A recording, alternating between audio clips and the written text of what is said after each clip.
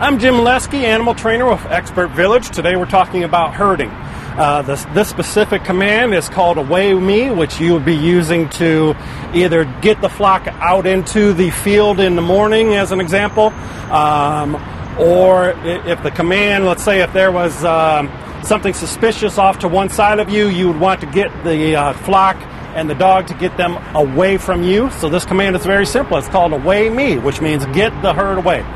The way we start off with the basics of training that, in this case, we're going to use Bear as our goat, and we're just going to use a simple tennis ball, and we're going to get uh, Bear to chase the ball, and we're training Tess to do the Away Me command. So by getting the association in there first, we get him to drop the ball, okay? And you see Tess is ready to go to work, and the command is away me. Very, very, very, very good. And what we build from there, and as we repetition, repetition is what's going to get you there, and pretty soon it becomes the command. They understand it completely different from the other three we've talked about.